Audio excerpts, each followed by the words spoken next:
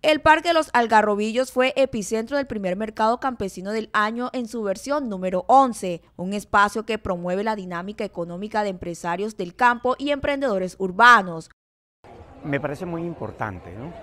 De pronto sería, además de esa importancia, seleccionar barrios, ¿no? Hay barrios que tienen más, más acogida que otros.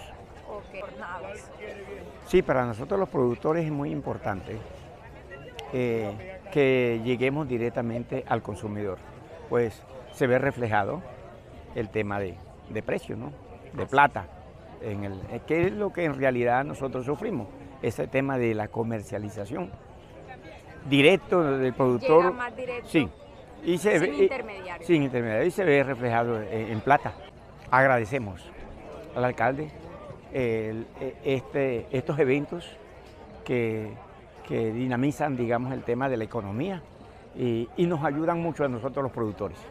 Bueno, y los precios están cómodos para la, la, gente pobre, que es lo que queremos, pero queremos que esto sea periódico, no cada dos meses o cada tres meses, ya. Regular. Regular, sí.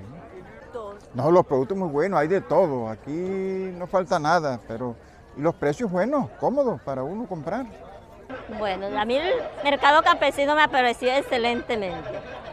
Nosotros hemos participado en todos los, en los mercados campesinos, nos, nos colaboran, somos un gremio, venimos de la montaña, excelente, muy excelente el mercado campesino.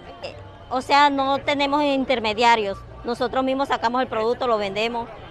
Directamente al cliente. Exactamente. Bueno, primero que todo le damos gracias a la alcaldía de Valledupar, eh, a nuestro alcalde Mello Castro que nos apoya con el mercado campesino, eh, a vender nuestros productos que lo traemos de Sabana Crespo y gracias a Dios nos ha ido muy bien. Muchas gracias.